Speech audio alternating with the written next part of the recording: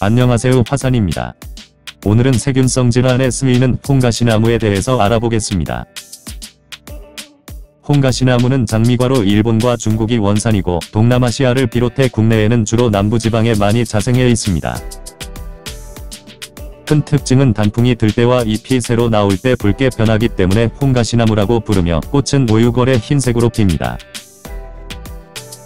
현재는 관상 가치가 많아 큰 도로변에 키 작은 가로수로 심기도 하고 관공서나 집화단 울타리용으로 많이 가꾸고 있습니다. 목재의 재질이 매우 단단해서 악기를 만들거나 차량용 목재 선박 재료 등에 응용되고 있습니다. 홍가시나무를 키우실 분들은 봄에 가지와 뿌리 잎 등의 일부를 잘라내서 삽목과 꺾꽂이로 번식이 가능하니 참고하시길 바랍니다.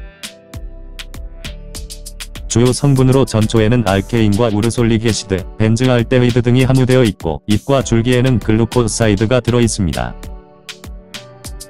ursolic acid는 우르솔산 성분의 일종으로 주름살을 펴주고 노화를 방지해주며 근육을 건강하게 키워 비만과 지방간 발생을 억제시켜줍니다.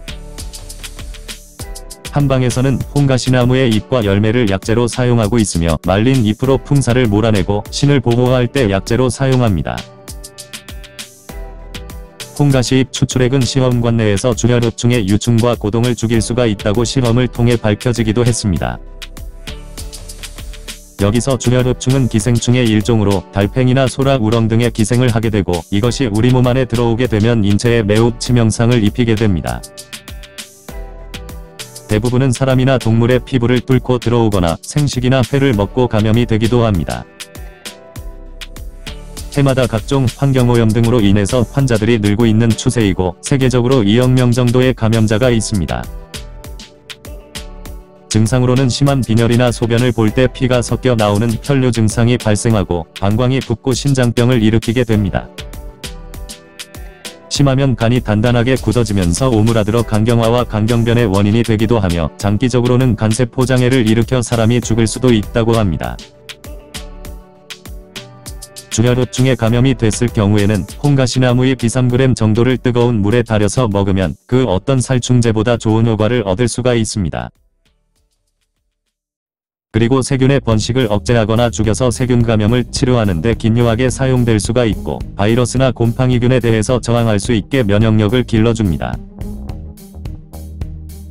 동물 실험에서 홍가시잎 70% 에탄올 추출물에서는 개구리의 심장과 적출한 토끼의 장관 기능을 억제하였으며 마취시킨 개에 대해서는 혈압을 내리는 작용이 있었습니다. 또한 몸 안에 쌓인 유해물질과 독소를 잘 배출하고 해독작용이 있어 폐와 간 기능을 향상시켜주며 결핵균 증식 억제 효과가 있어 천연항생제 역할을 해주기도 합니다.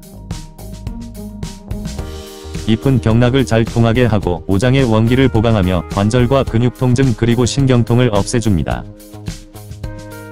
그래서 심한 무릎 통증과 허리 통증에 쓰이며 뼈마디가 항상 저리고 아플 때와 다리에 맥이 빠져 쥐가 날 때 사용합니다. 통증이 심할 때는 홍가시나무와 황칠나무 각 5-7g의 대추를 넣고 물에 함께 달여서 아침 저녁으로 2회씩 복용하시면 됩니다. 그리고 풍진을 치료할 때 쓰기도 하는데 풍진은 바이러스 감염으로 인해 발생하고 귓가 부으면서 목의 통증으로 시작되고 얼굴과 몸에 발진이 생기기도 합니다. 아울러 발열이 동반되면서 높은 감염성 질환으로 커지게 되는데 이때 홍가시 잎을 달여서 먹으면 됩니다. 열매는 아랫배가 딱딱하면서 뭉친 덩어리가 잡히거나 자꾸 커져만 가는 것을 막아주며 복부 팽만감과 지방이 많이 축적된 상태를 제거해줍니다. 그 밖에 음식을 먹고 체하거나 설사를 그치게 해주고 치질과 위장출혈, 대변출혈을 멈추게 할 때도 적용합니다. 홍가시나무 잎은 말린 것을 기준으로 3-5g을 뜨거운 물에 달여서 먹으면 되고 독성작용이 있어 감초나 대추를 넣고 끓이면 해독을 해서 먹을 수가 있습니다. 그리고 건조한 열매는 5-7g을 물에 달여서 식사 후에 드시면 되고 외용제로 사용할 때는 잘게 가루를 내서 피부에 바르거나 코 속에 넣기도 합니다.